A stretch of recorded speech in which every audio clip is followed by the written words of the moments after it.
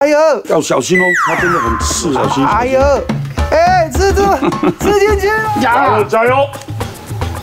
哎，手抓稳，哎，要往上往上，我是告诉你往上了。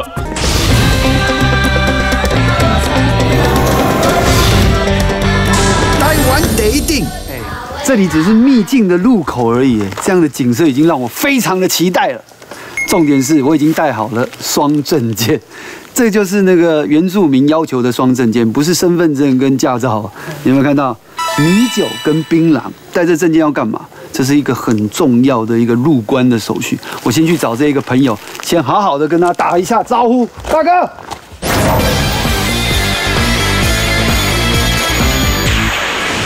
这都是山猪呢。对，这个都是我们家族猎人猎下来的头颅。以前我们在中央山脉的时候是不会放动物的头颅，因为以前我们是放日本人的头颅，其他种族的除草啊，就是除草没有做。哦，对，但是呢，我们迁移过来之后。我们的祖灵屋就不能再放头颅了。如果再放头颅的话，我现在关起来。对 对对，被关。所以呢，我们就用这个山猪来代表。如果以我们现在的学历来讲，我们家族的男人都是大学到硕士以上的学历。我们的帅哥，你有没有打过什么动物的头？我的学历就是我还没有入学。哎呀，先生，我到都他妈进了。哎呀，现在那个味道，马克下大温度大了，那样还做本土台湾第一等，都可味那个现在那马巴海南，那公安那个乌尼西卢伦丹，mas 乌尼西那伊下丹那哎他妈广东海芒待会我们要去爬山，对哦，我们先在这里补充一下我们的热量。除了这个山猪肉以外，哈，是为我们的帅哥准备了我们这个猎人的书袍。为什么叫做猎人的书袍？因为以前我们不好取得养生的东西，是这个都是我们就地取材，嗯，拿得到的、随手可得的东西。所以这里面是什么？有姜黄哦，黄姜是，还有野生的肉桂跟甘蔗。保暖用的，而且一喝完就整个身体会热起来。对，因为这个姜黄哦，我知道说对我们人的皮肤非常的好。是是是，女孩子喝一杯哦，是可以漂亮三天呢。喝两杯，喝两杯，漂亮一个礼拜。哎，不好意思，还是三天。为什么？因为它的有效 就只有三天，你喝再多也没有用。对。布农族人称软山部落为萨拉萨，意思是这是一个甘蔗会长得高、动物会活药、人会活得好的一块地。这番介绍成了这趟旅程的动力，我准备好接受挑战了。这就是路口了，对吗？是的，是的。耶！来，小心哦，我们慢慢走哈。哦，现在就要出发到忘忧森林吗？嗯。天堂之门。对。大哥说有四个关卡，哎，我们走到这里就要手脚并用了哈。好，可以扶的，我们就要开始搀扶了哈。哦，小黑，小黑，你是不是敢下去？来，不是。小黑，你敢下去吗？因为狗会怕靠。哎，他还是下去了。这手脚要并用。能抓的我们就要抓哦。啊，哦，扶着树木会比较好走。OK。前面就是我们传说中的第一关。第一关是什么？好汉坡。只能说谢谢台湾第一等，因为经历了立松温泉跟嘉明湖之后，这一些关卡呢，对我来说已经算是可以很轻松的应付了。眼前这条好汉坡对我来说算是小菜一碟，只要沿着绳索路线往上爬，就能顺利过关。哎呀，上一秒才说很 easy 的，下一秒我就落惨了。话还是不能说得太早，而这里的原始环境保留了丰富的自然生态，无时无刻都充满着惊喜，让我们这群呆巴怂嗨声不断。这上面啊，哎，哎，好可爱哎，你叫什么名字？哎，他丢东西，哎，他丢阿东，他走他走。了，十啊，很幸运呢，还有猕猴当我们的访客。对啊，但是我们要注意，是有一些植物哦，是我们千万碰不得的。哎呦，要小心哦，它真的很刺，小心。哎呦，哎，吃吃吃吃进去了，对呀、真的这个钩子哈，吃到会哭哎。这个叫做黄藤，整排都是刺。嗯，如果呢我们在山上不小心被勾到了，千万不要继续往下拉哦。是我们要顺势呢，跟着它的钩钩一样往上推，哦，就掉了，也是很恐你说这个是它的叶子啊？对哦，它也有那种像树叶的叶子，也这个刺也是它的叶子。对，来来来，猜谜时间到了，请问被黄藤刺到了，猜一位艺人，答对了有奖品哦。除了会刺人的黄藤，巴里大哥说，如果在野外不小心被咬人狗的性毛接触到了，会红肿难耐。解药就是长在附近的姑婆芋，从根茎挤出汁液，涂抹在伤口上，可以消肿、减缓刺痛感。在这没有边境的大自然教室里，每个地方都是野外求生学习的好场所。这边又跟我们刚才看到的景色不一样，这边都是岩石哎。嗯，好，对呀、走下来小心哦。我知道这一关难的是什么了，哎，难的就是你的先天条件，对不对？所以一关哦，嗯就叫做一线天。一线天。对，这是我最讨厌的一关，哼，你说这个宽度要多少？只有二十八公分，哎、那边真的很窄哎、越来越窄哦。哇哇，透光哎！但其实里面好漂亮哦。哎、你们有没有看过一个电影叫做《一百四十七个小时》？有，他就是在同样类似的场景，他被对他在一个峡谷，然后手被夹住出不去，所以我们还是不要开玩笑，还是要想办法出去，不要卡住哦。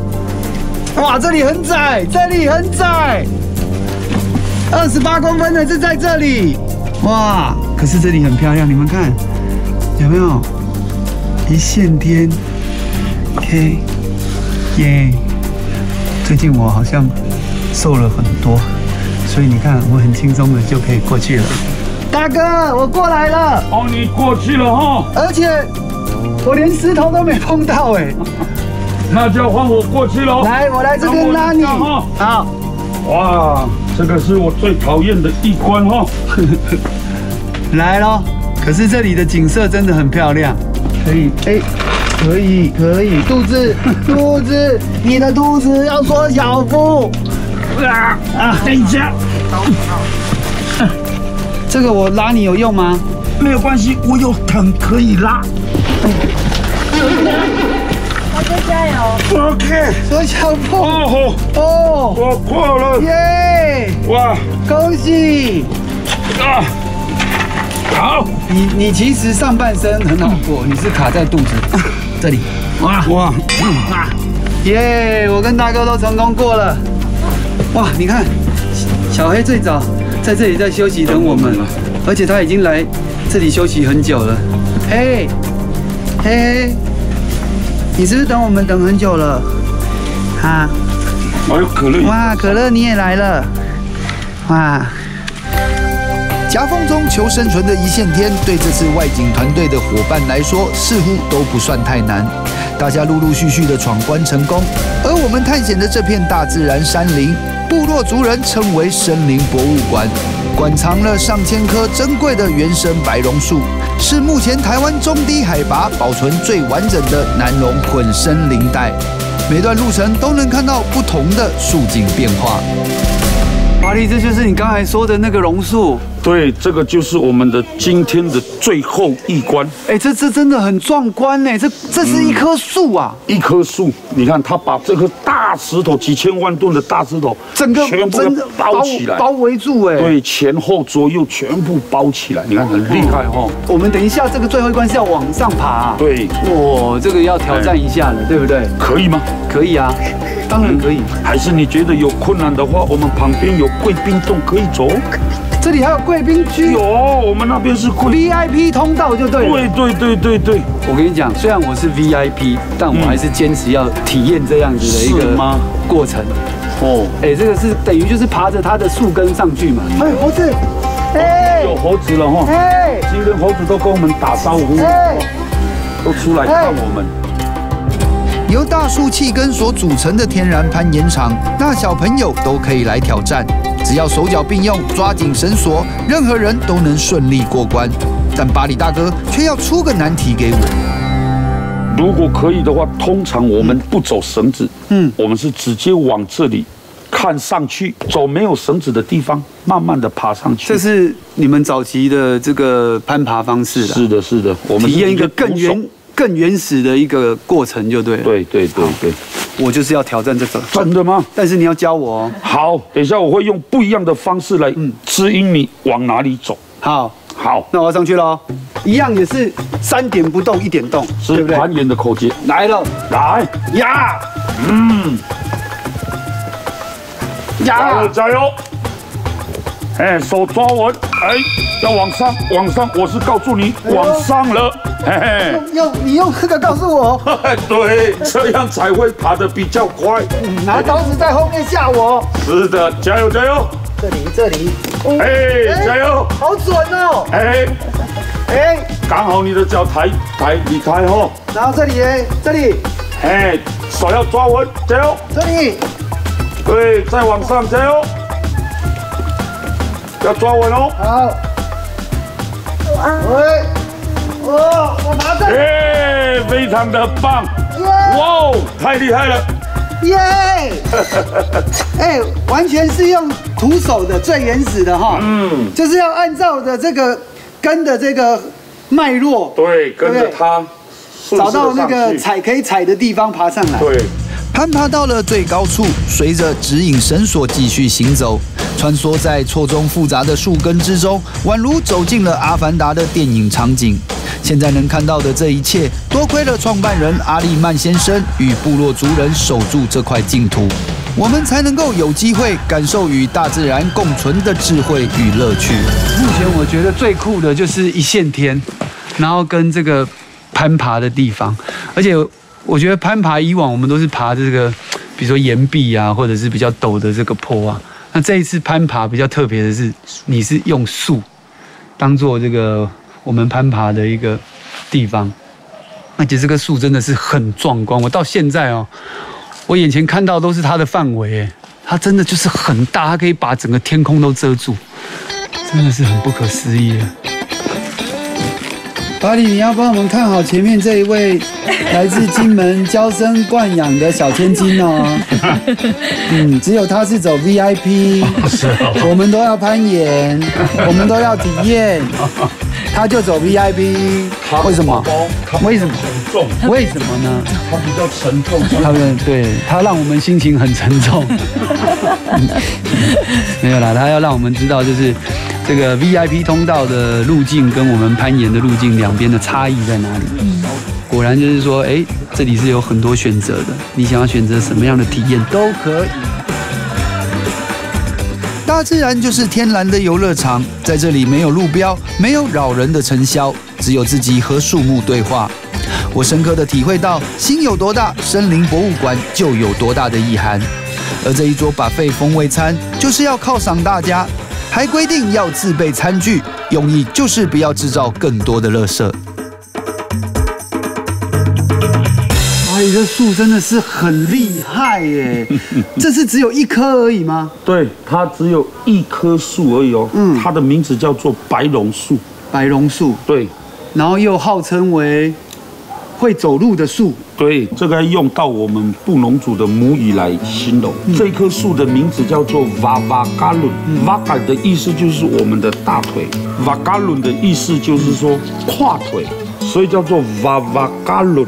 大腿在跨腿的意思，就是说这个腿会移动，嗯，就叫做会走路，然后一直跨出去的感觉。对对。因为我们现在坐在的这个位置哦，其实你可以感受到那个树好像这样给你包着，然后整个好像给你这样子拥抱住这样子。对对对对，应该是讲台湾找不到第二棵这么漂亮的树了。哎，那我问你一个问题，好，请问台东？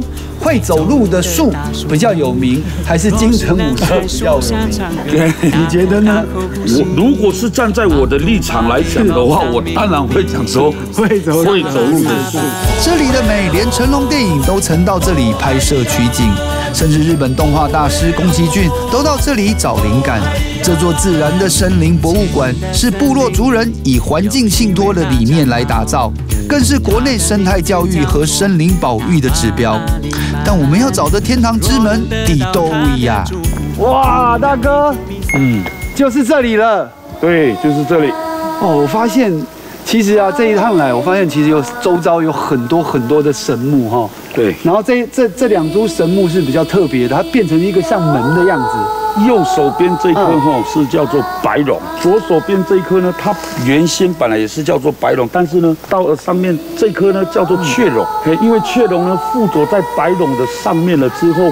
它开始往外延伸，嗯。嗯，所以呢就把这个白龙包覆起来了，嗯嗯嗯，所以呢我们变成看起来这个整颗呢，在上面是牵在一起，像个门一样就对了。，对，这样哦，远远的这样，哦，非常的漂亮，非常的漂亮，所以称它为天堂之门呐哈。之门，对，这也象征着，因为我看资料讲啊，如果你有看到这个天堂之门啊，就是也能祈求，就是说你的明年一整年你都可以顺顺利利、平平安安哈。对对对对，这是一个幸福的大门就对了。嗯那我们可以往里面走啦。好，好啦，希望我新的一年，嗯，也能够得到我的新恋情。